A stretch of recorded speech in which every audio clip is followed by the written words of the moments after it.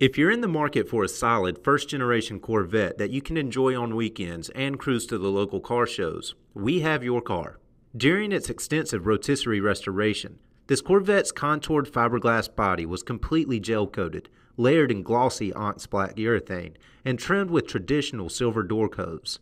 Like all 56 Corvettes, it was originally assembled at GM's new for 1954 St. Louis manufacturing facility, and its fit and finish presents much better now than it did 56 years ago. Given their fiberglass construction, curved bodies, and age, vintage Corvettes are difficult restorations that do not hide major repairs well. Judging by the looks of this Roadster's smooth fuselage, there's no evidence that it has ever seen any catastrophic damage or botch fix jobs.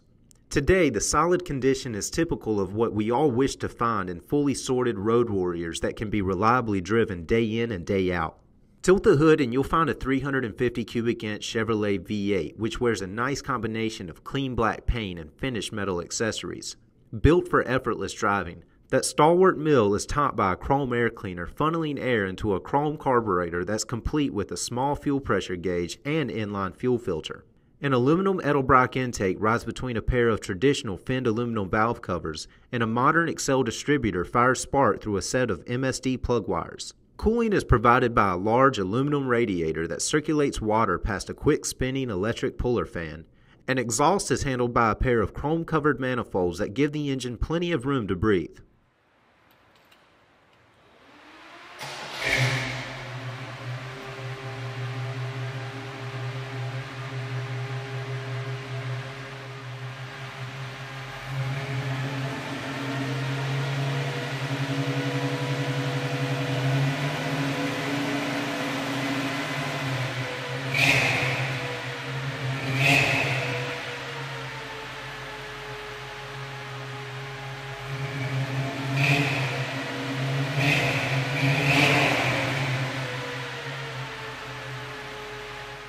Inside, a clean red leather interior is built around great looking bucket seats that have just enough break in time to be exceptionally comfortable. Beautifully stitched red panels combined with chrome hardware and stainless trim to highlight small, simple doors.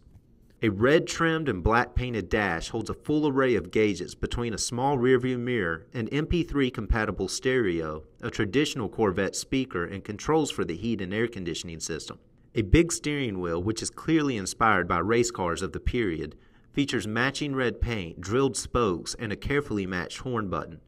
And since consoles were still an invention of the future in 1956, the car's Hurst shifter snakes its way directly out of the transmission tunnel. This 56 Corvette offers a ton of style and performance for a very reasonable price. It's a highly desirable first generation convertible featuring a custom black on red color combination, a proven small block V8, and an engaging four speed transmission. For more information on this awesome roadster, call, click, or visit rkmotorscharlotte.com.